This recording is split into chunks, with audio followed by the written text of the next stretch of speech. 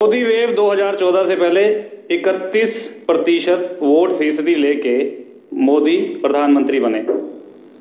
महागठबंधन क्या इसलिए कि उनहत्तर प्रतिशत जो वोटिंग है वो दिख रहा है और कांग्रेस सीधी सीधी 2019 में से जीत मान रही है।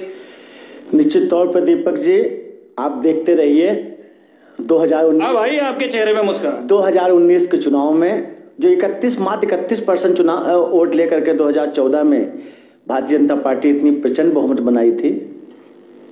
कांग्रेस पार्टी 50-60 परसेंट वोट लेकर के और हम सभी गठबंधन जो भी निर्णय होगा मतलब 300 प्लस सीटें। आप देखते जाइए शायद उन्नीस सौ चौरासी का इतिहास दोहराया जाएगा और भारतीय जनता पार्टी को 50 सीटों से कम पे कांग्रेस पार्टी रोकेगी ये मेरा आपसे। कांग्रेस जन उत्तर प्रदेश में किसानों की लड़ाई